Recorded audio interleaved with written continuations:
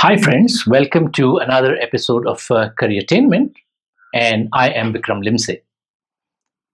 Now, sorry for a delayed video this time, but uh, this being the COVID vaccination month, some adjustments had to be done, and therefore the delay.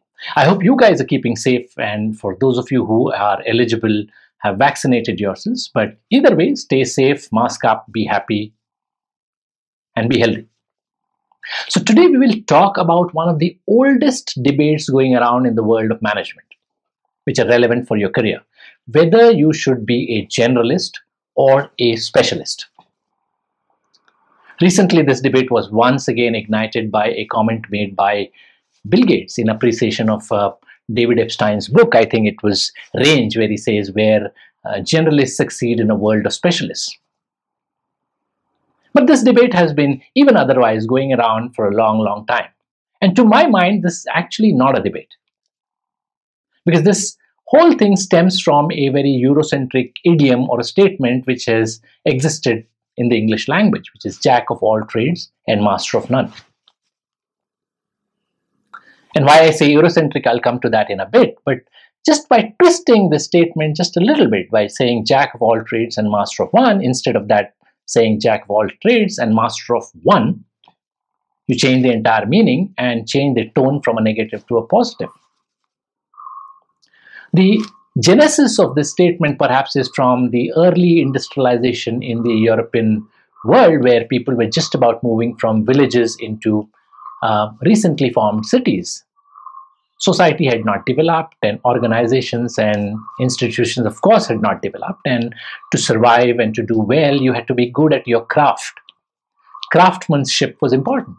This was before factories and all came in. And that's probably where this idiom stems from. Yeah jack of all trades and master of none. And that's what they must have said to someone who was not good at anything. But in the context of our own philosophy this debate never existed it was always about jack of all trades and master of at least one. Even if I take the examples from the Mahabharata, 5000 years back, it was the same thing. Yudhishthir was good at his intellect and planning and strategic planning. Bhim was very good at raw strength and, and, and to wield the gada or the mace. Nakul and Sahadev, besides being great at you know sword fighting. Nakul was very good. It said that he was very good with animals. And uh, Sahadev, they say, was very good at reading the astrological charts and astronomy. But it was only Arjun who was a great archer himself and was also adept at every aspect of warfare. So he was a specialist archer and a generalist yodha or a, uh, uh, uh or a fighter. So this concept of being jack of all trades and master of one has been the philosophy that we have seen over here and it, and that's how it has progressed. But in the modern western eurocentric uh, concept has been pretty recent. I guess uh, it, it, when you look at it as a binary that's where the problem arises right? It's not about or it's about and. So remove the tyranny of the or. It's not about uh, being a generalist or a specialist. It's about being a generalist and a specialist. That's what you should be aiming for. It's just like the old chicken and egg um, syndrome, what came before, right? When you look at a problem, when you split it and you manufacture a debate. Quite frankly, if you look at chicken and egg being a part of an integrated evolutionary trend, then there's no debate. Yeah, there could be a debate whether the ostrich came before the chicken or the chicken's egg came before the ostrich's egg. Now, that's if you really want to have a debate, you can do that. But what's the point in splitting a integrated evolution of chicken and egg and then saying whether the chicken came first or the egg came before that? The other reason why, in my view, this whole debate exists is because in the modern world, or especially in the world of technology, um, it's easy to define specialist roles. You can, in fact, do it in terms of keywords, and, and uh, very soon in future, and already, you know, roles are being defined by AI. Now, there's no human element. Ask any friend of yours who's uh, in the HR domain to define how difficult it is to define a generalist role and he or she will tell you. So, as with everything else, people go for low hanging fruit. So, it's very easy to define a specialist role. So, you see a lot of um, specialist definitions around, and then very few generalist role, and that's what you know kind of induces this debate once again. But I'm pretty clear that there's no binary. In your career, it's best suited if you're a jack of all trade and master of at least one. Be good at at least one thing in your life. Let's look at some examples. For example, it's normally said that when you are in an organizational environment, when you have to be a leader, or even not a leader, if you have to be a team player, then you need to talk to people. You need to transfer ideas from one to the other, understand what the other functions are. So, therefore, it becomes very important in an organizational sense to be a generalist at the same time being specialist in whatever you're doing. They say that normally specialists are in, in, in individual professions like doctors, lawyers, sportsmen. But even there, I think uh, it needs to be thought a little bit.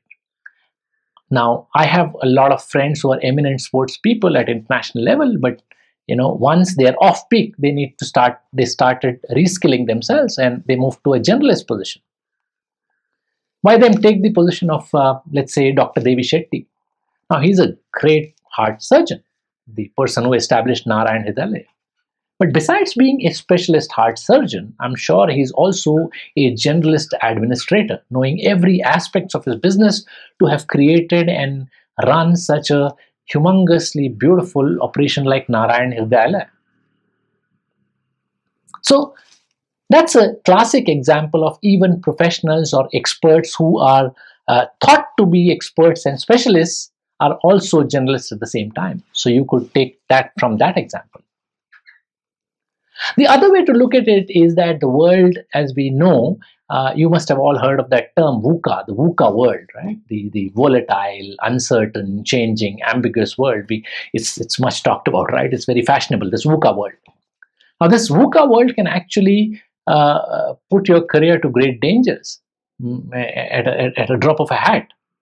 So if you are a specialist and if you're a generalist, then your risk is mitigated by this VUCA world. Sudden changes happen, you can you know take on a generalist role, but God forbid you're in a very very specialized role, then uh, the whole industry changes and, and you're left with nothing.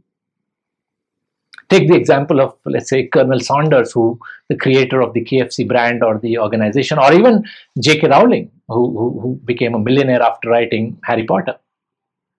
Now, Colonel Saunders was uh, apparently a railroad man and later an insurance broker. Now, if he had decided that he's going to be um, just that, a specialist insurance broker or railroad man, when the depression hit, you know, he wouldn't have made this transition into, you know, survival transition of, you know, kind of frying chickens and, uh, you know, coming up with the KFC brand. Or J.K. Rowling would have been a great translator or interpreter, or something like that. I don't remember had she not been open to her writing skills. So you need to be very good at what you're doing, but you need to be also open and be generalist around other aspects of your life or organization so that you have a chance to mitigate risk for your own career. There's one more reason, you know, your personality flowers at different points of time. While your personality, the, even the environment offers you or the universe conspires differently at different phases in your life. So at a particular stage, you might be a great guy at advertising, and, and, another stage, you might be a great guy at something to do with finance. I don't know, something like that. So if you're a, if, if you slot yourselves tightly, then you don't even allow the universe to help you towards your own success. You don't allow your own success to get a chance. So if you are a generalist and a specialist at the same time, you allow yourselves that success. That's what it means. So there's no debate. And finally, to my mind, we're all humans, right? We're not we're not robots, we're not machines, we're not going to be doing the same thing again and again and again and again. By being a generalist, it allows you that spice in life, a little variety, which is good. It just makes you happy, makes you more productive. So that's why I think that this debate between whether to be a generalist or a specialist should not be looked at in a binary of this or that. It has to be and. And let that be very, very clear. In fact, our philosophy has taught this from a long time. I gave you the example of uh, Mahabharata. So I hope this video has thrown some insights. I hope you're like Arjun, a great archer and a great master of all aspects of warfare in everything that you do. And I hope you will succeed. And I'm sure you will if you're practicing both. I hope this video has helped you. If you've liked the video, do share, keep watching, and subscribe to the channel. Until we meet again, see you. Bye for now.